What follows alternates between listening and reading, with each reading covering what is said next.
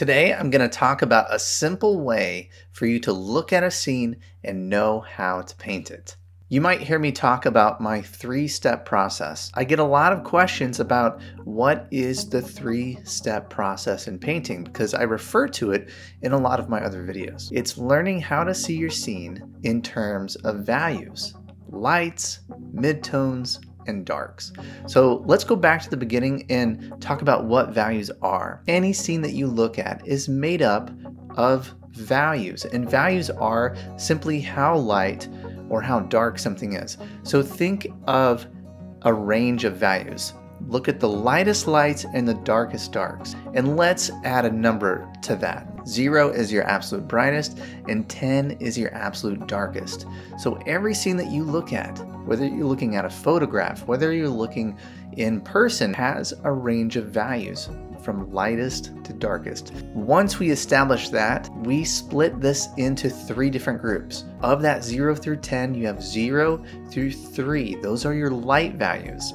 And then you have 4 through 7. Those are your middle values.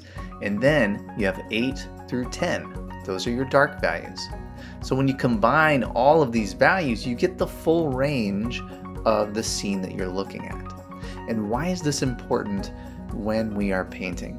Well, in watercolor, a lot of times we paint from light to dark.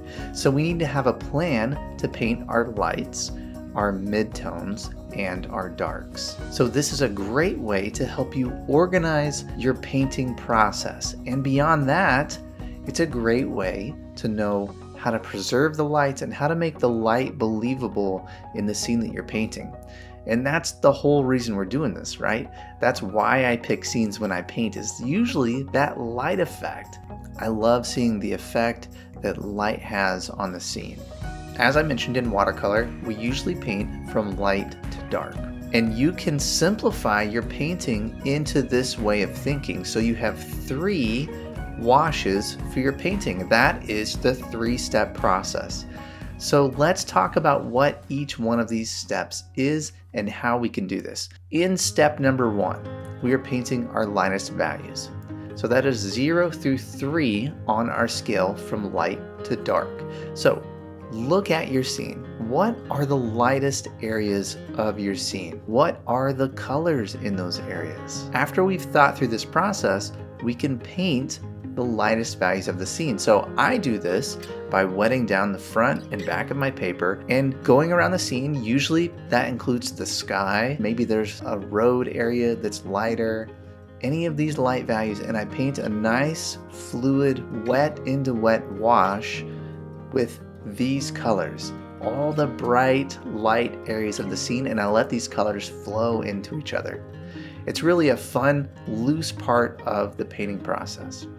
And then I let this dry. And then we're moving into the middle values. Now this is the most challenging part of your painting because you're trying to paint these middle values in a large shape a connected way. You're merging the middle values in this object with the object that's next to it. You're looking for the large shapes that connect the scene, that allow you to see the scene as a whole. That's really the tricky part that we need to start to figure out is seeing those large connected shapes of the scene.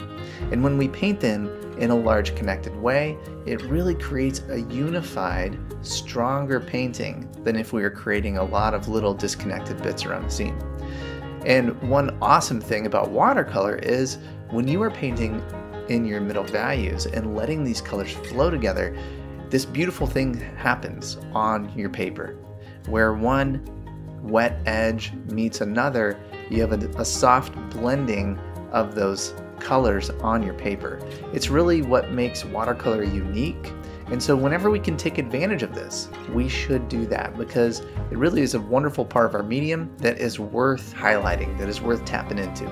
It's important to squint at your scene. I talk about squinting a lot.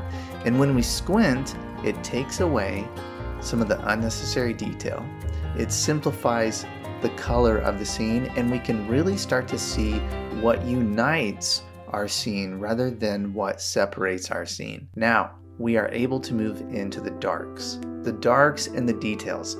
This is really the part of your painting that brings all of it together. Don't judge your painting before you get your darks and details in. To really bring that scene together, to really make our light stand out, and to make things more believable, we need our darks and our details. A lot can happen near the end of your painting. Think about your focal area first. I always say that. Start with your focal area. That way, you're not going too strong in one area and creating competition for your viewers' attention all over the painting. This is the most fun, exciting, fulfilling part of the painting because all of your hard work is paying off. The light is showing up and it's starting to really look like something. And I think that's one of the most challenging parts of this process in painting is because it looks pretty abstract and loose most of the way.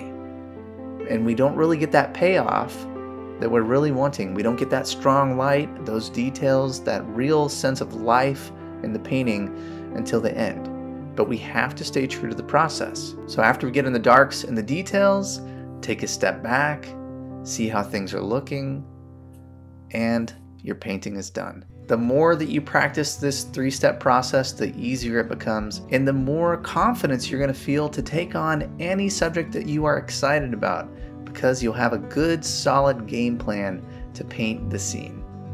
Have you ever been really excited about a painting and you get all set up, you find that right reference that you're excited about, and then it's time to go and you feel lost? You ever had that experience? You just are having a hard time finding consistency. Some of your paintings turn out, some of your paintings don't turn out, and you're not really sure why. Well, I have a free resource that I want to give to you today that can help exactly with these problems my five steps to plan a successful watercolor painting. I walk you through the crucial planning phase of your painting that will help you understand what you're going to paint first, second, and third the planning is really so important, especially in watercolor. This medium is harder to correct, it's so immediate. So, having that plan is very important. I send you a PDF that you can download. And the great thing about this is you can have it on your phone, you could print it out, and you can take a look at these crucial planning steps before you start each painting to ensure that you're thinking through these important things as you get started.